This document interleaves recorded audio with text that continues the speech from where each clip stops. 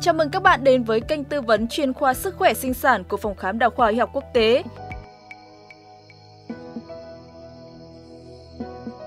Đình chỉ thai nghén sẽ có hai phương pháp đình chỉ. Một là đình chỉ thai nghén bằng hút thai chân không, hai là đình chỉ thai nghén bằng phá thai bằng thuốc. Thời gian ra máu trung bình của bỏ tha à, của đình chỉ thai nghén bằng hút thai chân không là từ 7 đến 10 ngày. Thời gian ra máu sau bỏ thai bằng thuốc là trung bình từ 15 đến 20 ngày.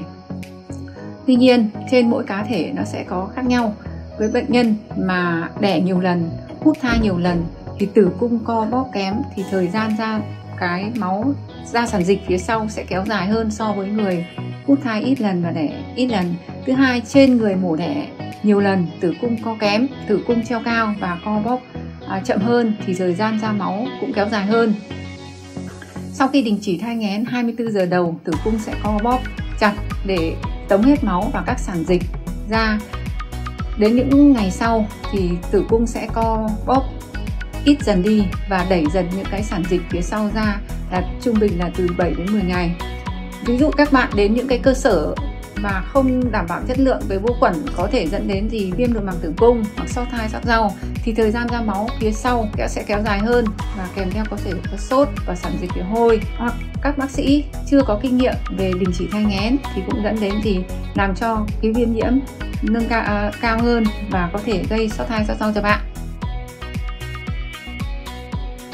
Sau đình chỉ thai nghén bằng hút thai chân không hoặc bằng thuốc thì yêu cầu những người phụ nữ sau khi đình chỉ thai đầu tiên là phải tuân thủ theo đơn của bác sĩ thứ nhất là phải uống kháng sinh thứ hai là phải vệ sinh cá nhân tốt đặc biệt là vệ sinh vùng kín. Thứ ba là các bạn với những các bạn mà sinh đẻ nhiều lần mổ đẻ hoặc nạo hút thai nhiều lần các bạn có thể ăn các cái thực phẩm hỗ trợ như là ăn rau ngót à, đậu đỏ và mè đen. À, vận động thì các bạn có thể vận động thân thể nhẹ nhàng à, tránh à, các bạn không nên nằm lâu thì khi cái không ít vận động thì cũng là một trong những yếu tố làm cho tử cung co bóp kém và dẫn đến sản dịch nó ứ động trong buồng tử cung và gây ra ấy. tiếp theo các bạn có thể xoa bóp vùng bụng để làm sao tăng cơn co tử cung và ngoại sinh để co bóp và tống sản dịch ra nhanh hơn sau khi à, hút thai xong thì các bạn có thể nghỉ ngơi tại giường từ 15 đến à, 30 phút các bạn nằm bắt chéo hai chân lên nhau hoặc có thể nằm nghiêng co chân để làm cho tử cung co bóp để tránh cái đau cho mình nhiều sau khi mình làm thủ thuật. Sau đình chỉ thai nghén ra sản dịch là sinh lý bình thường